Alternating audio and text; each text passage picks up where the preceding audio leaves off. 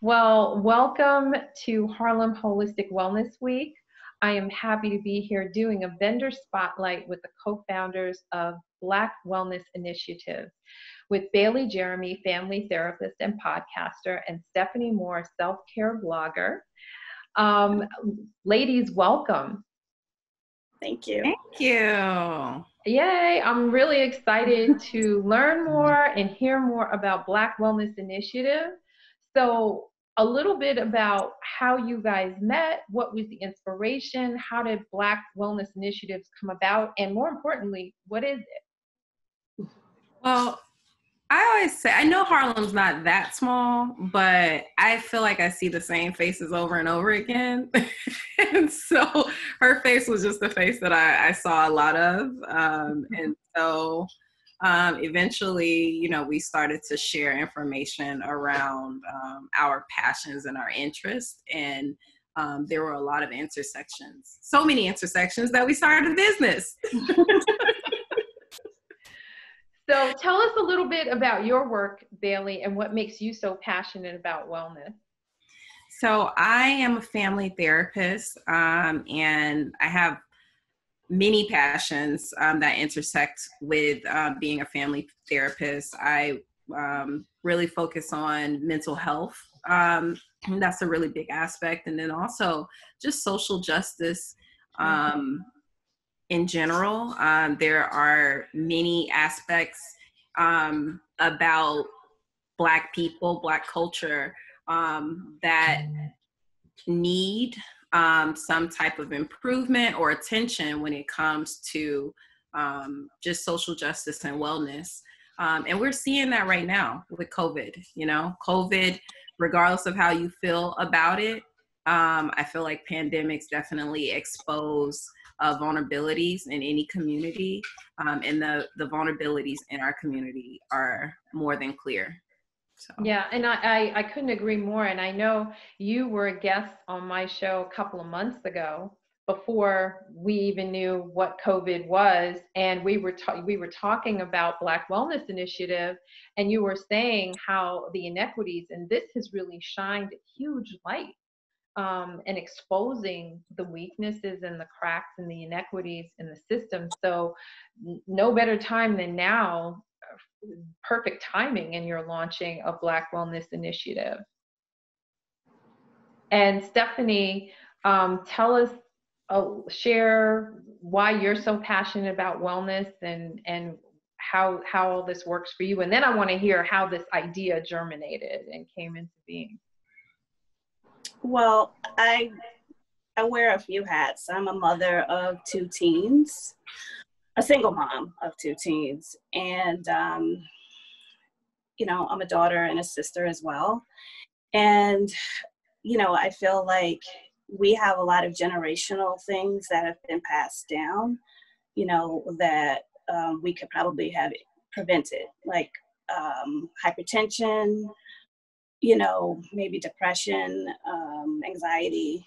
And I was never really taught how to deal with it. So when I have a 16 year, well now 17 year old daughter, um, I don't want her to repeat the same mistakes, and I want her to be more educated on how she takes care of herself. And you know, I have an 18 year old son as well. I care about him too, but women in general carry a lot of a burden. So for me, I feel like it's my duty to educate her and him better and also be an example for my mom and my sister too you know we can all learn from each other. There's things that we don't have to deal with. Um, there's information that is out there that we're not privy to and sometimes it's almost like a luxury you know to have certain access to um, techniques or wellness retreats or just different herbs and teas and things that we could use. We just don't know about it. It's a lot more than therapy. You know, I went through therapy, but I didn't do a lot of these other things until I reached over 40. So I think I'm really passionate about teaching my kids from a young age and set an mm-hmm. example for them. So mm-hmm. that that's really really passionate. And she speaks to one of the intersections that I thought um, was perfect for um, starting a business because I'm on the other side as a provider of mental health and therapy. And I was just like, I'm doing some good work here, but it's just not fair that only a few families get to experience this. like, you know, and I mean, that was what motivated me to start the podcast. Um, but I started thinking, what are other ways to communicate wellness, to expand wellness, um, to help um, our people and our community like embrace wellness? And I was like, you know, like actually just giving them products or giving them techniques, um, sending them to them could be another way outside of like the radio or the podcast or um, even public speaking events. And, um, you know, I'm not really trying to brag, but I really, um, when I say like, you know, I need more people to get it, but on average, um, like the, the modality that I work in, um, you can only really help about 10 families a year.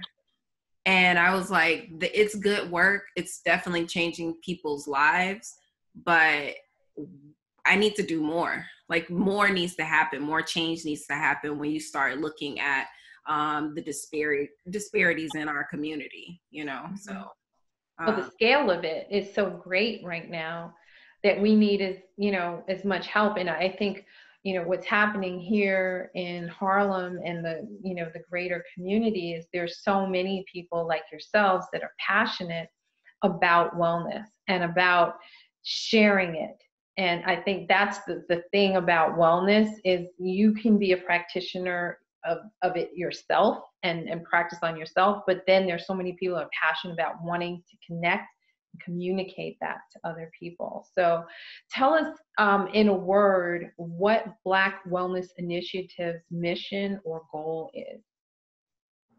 In one word or five words? Use as many as you want. well, Stephanie. Well, we, we said empowerment. That's the word that kept coming up, right? Mm-hmm. You know, we're empowering our community to embrace a lifestyle of wellness yeah mm-hmm. and actually like know what it is you know um there's so many times where like right now um this is not one of our products but an, a great example is elderberry right you don't start hearing about these things until i don't know like like it you know i'm in my 30s like and i'm like why don't i know about these things beforehand? You know like why why now do, do these type of things come to me? Even meditation or mindfulness. Like if i didn't you know pay a house to go to school when would i have known about mindfulness or meditation you know um, and I, I we want that information to get to the community faster so what are some of the ways the products or services that you're um, creating through Black Wellness Initiative? How, how will you connect with and share with the community? I think we started our products um, with a meditation or mindfulness technique that um, I had in mind, or we both kind of had in mind, which is engaging all five senses. And so we wanted to create a box that allowed people to really engage all five senses and really achieve self care. Um, and so that's kind of what we started off with. And um, we incorporated a lot of different things that um, encompass mind, body, and soul. Um, so we have crystals for spiritual people. Um, we we oh. have. I got my crystals. yes, we have the crystals for spiritual people. We have um, the teas for you know people who may have not dug deep and they just want to like have the different teas. Um, and we we have a variety of different teas um, from a um, a black uh, tea brand called Modestine Teas um, that we're really happy to collaborate with. Um, and um, we have like the vehicles to utilize these things. So we're not just giving people teas or giving people the crystals. We're really telling you the benefits of them in our magazine. Um, and there are a few other items um, that we're working on, and Stephanie's working really hard on those. you, want, want to share with uh, just like the the what we have in this particular box that you're working on? Um, well, we have a bath bomb uh, that has Himalayan uh, pink Himalayan salt and shea butter and uh, roses, rose petals, and that's been a labor of love, but we're really proud of it. um, I mean, baths are amazing. You know, that's just some, something simple that you can do that can de-stress you. And using something as simple as petals in the water and aromatherapy is definitely can can really set my mood for the day. So um, that's something that we are really proud of. I mean, I'm really proud of the the essential oils too with the uh, diffuser. Um, yeah. Yeah, definitely. That's um, all good stuff. That's just amazing. It's just, you know, and Bailey gave me a diffuser for my birthday. And every time I look at it, I think about her. And it's running right now in the back. you know, it's just a great vehicle. So mm-hmm. if someone isn't doing that, they, they should be doing that on a daily basis. Yeah. That's, uh, you know, and I, I think, uh, and you mentioned that there's a magazine. And so I want to hear about that. But I think this communication of all the different ways you can employ self care is so important. And I can say, I, I, applaud you for what you're doing because I know I do it for myself and I do it for my family in terms of bringing in things like essential oils and diffusers and crystals and all the things that go along with that. Um, and it's a bit of a foreign lifestyle for many people because they've been conditioned and programmed and used to doing so many different things. So what are some of the challenges that you see with people being able to adopt and embrace um, new ways of, of taking care of themselves? What do you think is that critical factor? I think the big, and this is probably from a social justice uh, perspective, but I really think it's access. Um, because even if you hear about meditation one time, like you're probably more willing to embrace meditation after you heard about it a few more times. Um, but depending on where you are or what um, industry you work in, like maybe that's just not something you're talking about, you know? Um, for me, in my former life, I was a Starbucks barista. and so when I was working in Starbucks, no one was talking about mindfulness or meditation but you know i was stressed. The hours were tough. The customers were rude. Like, and i didn't really i mean i was in um, college at that time so i knew about some concepts um, but like the access was a really big thing you know? And then making $11 an hour and a massage is 49 but like those are some difficult and that's that's the massage envy massage not not the right. social four seasons massage. right, right. But yeah, I think access is a really big barrier um, for a lot of people. And so uh, that's something that we even had to think really hard about. Like, just um, what is our starting price? Um, how much can we jam into this box uh, to make sure that every person has an opportunity to get the box? Um, and if they want to gift the box, you know it doesn't cost them you know i don't know some brand name purse. Like it's you know it's something that they can continue to get over and over again. Um and not only the price point but also the longevity. So um, a lot of subscription boxes will uh, offer the monthly subscription. Um, but we thought maybe we should put in items that can last for several months. Um, and so that you only have to buy this box every four months or every three months sorry. Um, and and if you choose to buy one box that box will last you for a while. It'll mm-hmm. benefit you for a while mm-hmm. and that that's the biggest thing making sure that that access is there. So do you have the box? Can you show us the box? You have one of course you do. Oh we have to do the don't rush challenge. Hold on here yeah, we're we're really excited about the box. Yeah. the box so has, tell us the name. It's called. Uh, the box um, is um, Ho- holistic wellness box, um, and it's by Black Wellness Initiative. And so, Black Wellness Initiative actually has like various aspects of uh, wellness that we're incorporating.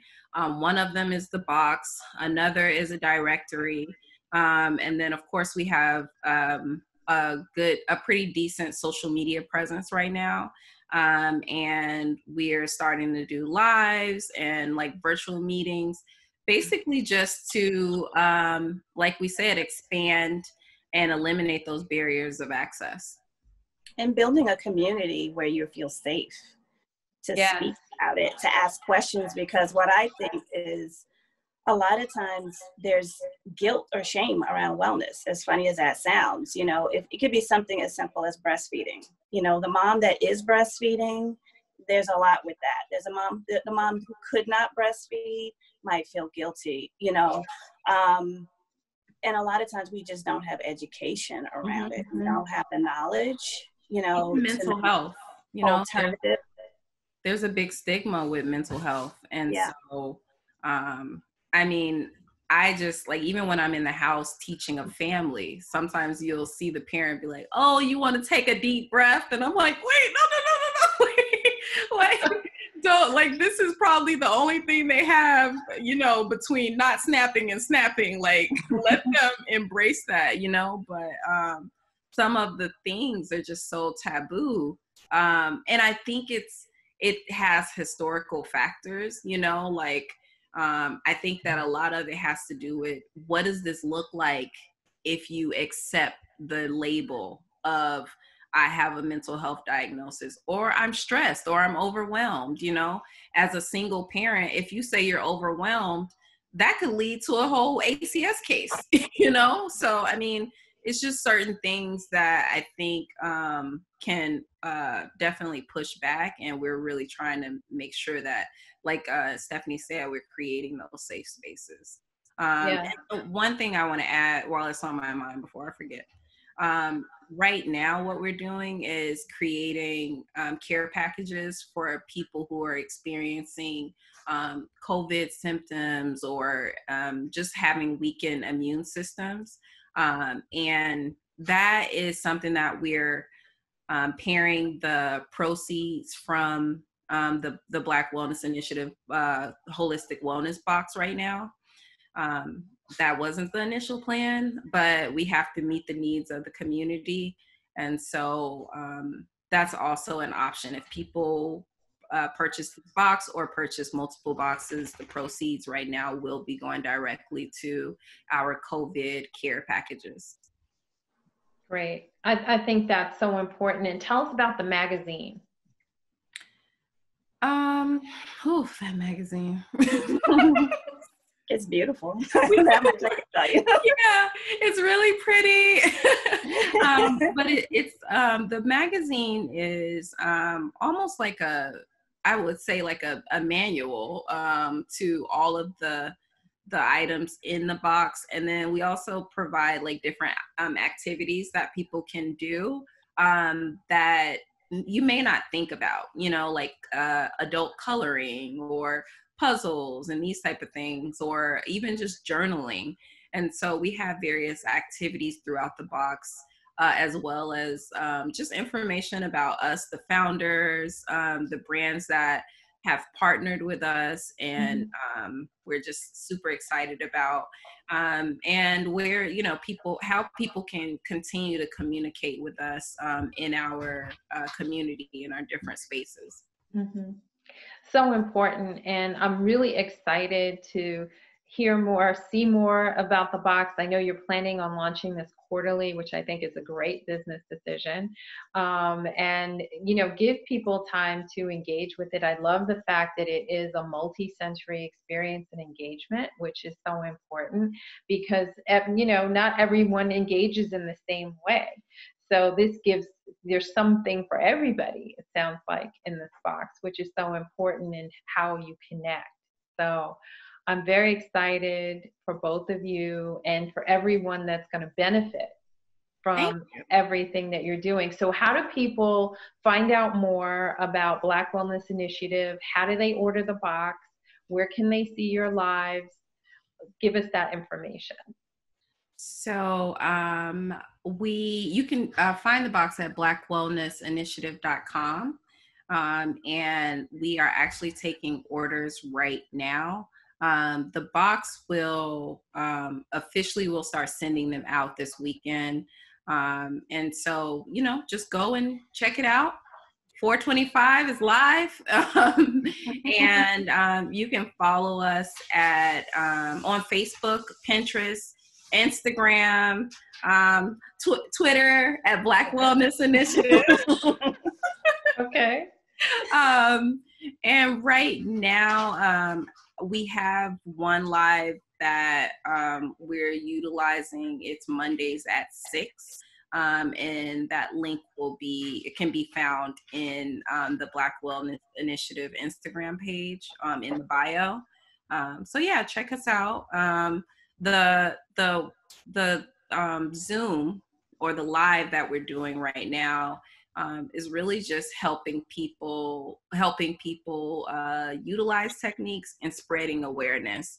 Um, I mean, if you look at the awareness calendar, there's there's an awareness week, awareness day every single uh, day of the year, pretty much. Um, like this week is actually uh, infertility um, awareness week, and last week was Black maternity um, awareness week. So we just celebrate all these different aspects of wellness and health um, mm-hmm. on our Instagram and on our uh, social media uh, p- platforms and our website. That is so great. I'm so excited. Um, I'm looking forward to seeing that. For anybody tuning in and watching this, please check out blackwellnessinitiative.com and check out that box and tune in. Uh, you can find you guys. Are you on Facebook? Yes, Facebook, yeah. Instagram, and Twitter. Twitter. Okay. Pinterest and the website. excellent, excellent. And individually, you're both uh, you're a self care blogger, Stephanie, as well. Yes. And um, yeah, my page is Say Yes More. Say like, Yes More. I love it. Like my last name, M O O R E. And uh, I'm on Pinterest and Instagram as well. Great. So people and, can follow you there as well. Yeah. And yes. Bailey, I know you have a podcast, Mind Over Melanin. I do. And the podcast airs every Wednesday um, at, I'm giving it 12 o'clock during quarantine. it used to be 7 a.m. but every Wednesday, um, you can check out um, Mind Over Melanin Pod on Instagram, or you can go straight to mindovermelanin.com. And the Mind Over Melanin podcast airs on all um, podcast platforms. And all your prior shows are also uh, stored there so they can check out past. Yep, you can check all. And I, I also do a, a little, uh, what do you call it, Flashback Friday for all the episodes that I, I really love. So, yeah. That's cool. I like that. I definitely like that. Okay, ladies, thank you so much. The best of luck with Black Wellness Initiative. Thank you for bringing this to Harlem Holistic Wellness Week. Thank and you. I'm excited yeah. for everyone to engage. Thanks Thank so much. You. Yeah. Thank you.